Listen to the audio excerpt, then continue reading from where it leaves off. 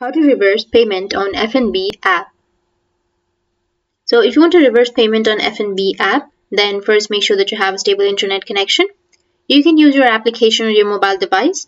So I'll just use my Chrome browser. So open up your browser.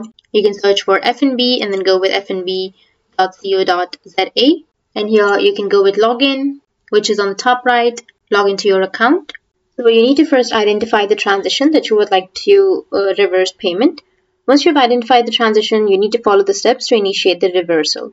So download the payment reversal request form from the FNB website. You can go with the FNB website and you can search for payment reversal form.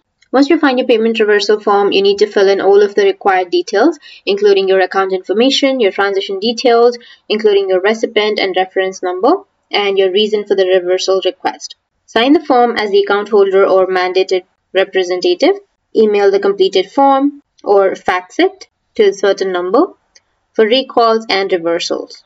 So that's the process. You can reverse payment on FNB and if you have any questions, feel free to comment below. Thanks for watching.